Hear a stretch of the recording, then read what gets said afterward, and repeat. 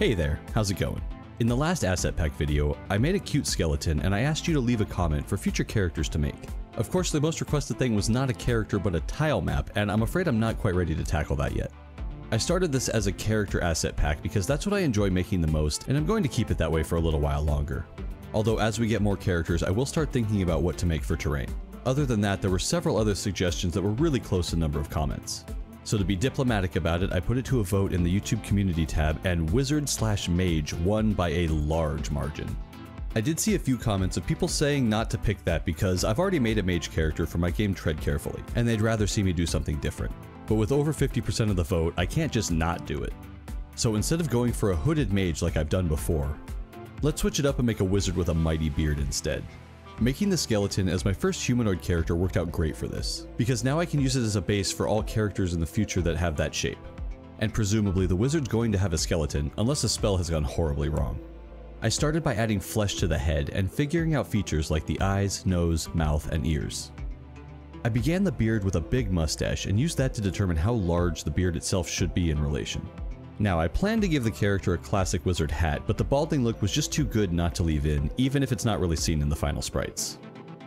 Wizards wear robes, so I was able to block in a big blotch of color with a rough idea of where the hand's to be, and then start adding some shading and refining.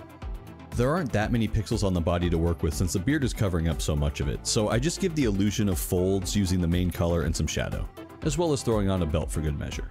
On the head, I went for a classic big floppy Gandalf-like hat. And I'm a big Tolkien fan, so there were definitely inspiration taken from the Grey Wizard here. And all in all, I think the look came together pretty well. With the base design of the character figured out, it's time to start animating. I've mentioned this in the past, but I do all of my designing in Photoshop, because that's the tool that I've just worked with the longest and I'm the most comfortable using. But I do really dislike the animation tools that Photoshop has to offer, so let's get this guy over into Aseprite and get him moving.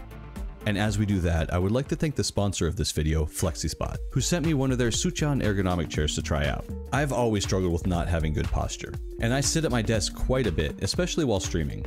The 3D lumbar system and adjustable seat depth are great for keeping me from slouching while working. And when the work is done, I can lean back, adjust the armrest, and get a little gaming done before bed. It was incredibly easy to assemble, taking less than 15 minutes from box to build. I've been using the chair for the last few weeks now, and I've been super happy with it for both work and play. FlexiSpot makes quality ergonomic products to help people lead healthier and more productive lives now. Check them out with the link in the description and see what a difference it can make today.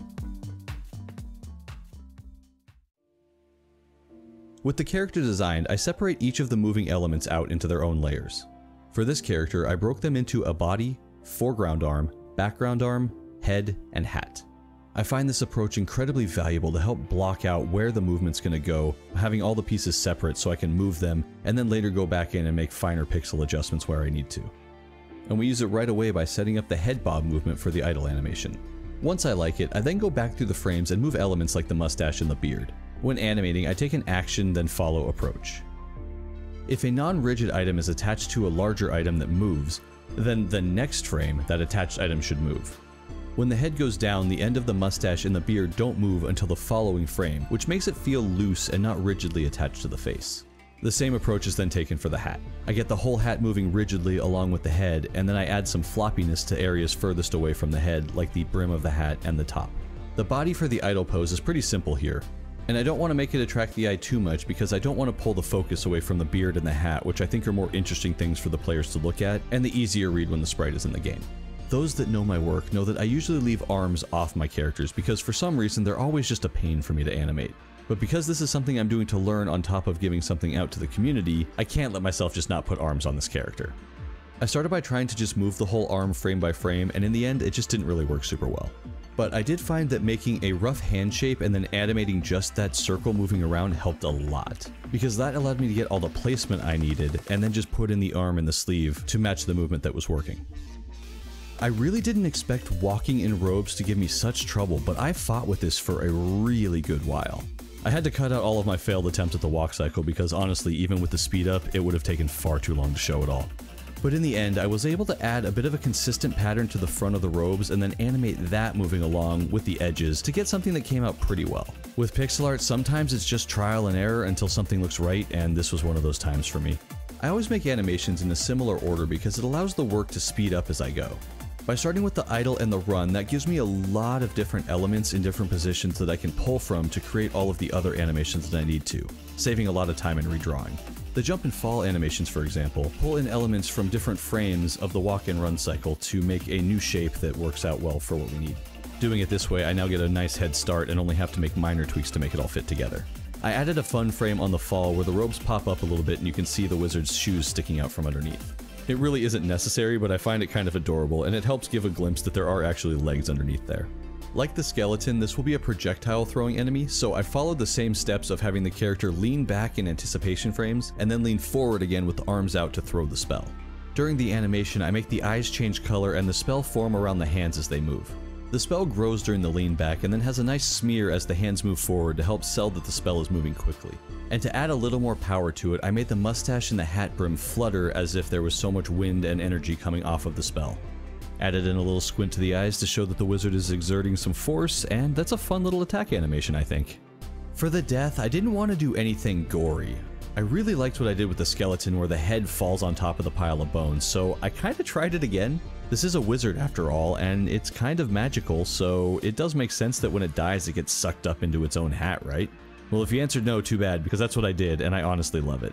Then I made the hit animation, which is basically just the beginning part of the death animation, and as I did with the skeleton, I made a flashing and non-flashing version. I then made a separate sprite for the projectile as well, and finally, like with the slimes, I added a couple of color variations, and that'll do it. This is the wizard in the end. It can stand idle, run, jump and fall, attack, die, and get hit. The pack on my itch page has been updated and it's ready to grab if you're interested. There's a link in the description.